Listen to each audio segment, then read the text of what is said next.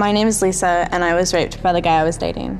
I was at his apartment, and he started pressuring me to become intimate with him. I asked him to stop, and I told him not to do it, but he felt that, you know, since we'd already started, that he was entitled to go ahead and you know, finish and have sex with me. So he physically restrained me. I think what helped me most was when I finally admitted to myself that I was raped.